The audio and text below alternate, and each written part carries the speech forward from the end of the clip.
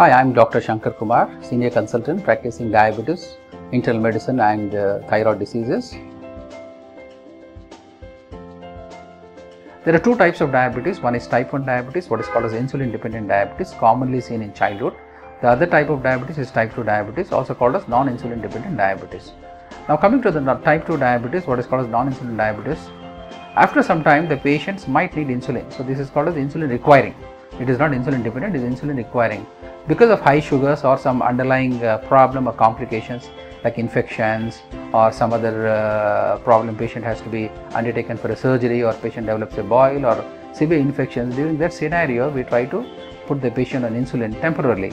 But once the infection thing settles down the stress is also gone and the patient responds very well and the insulin requirement drastically comes down so at this point of stage you can always take out the insulin and patient can go back to his oral medications.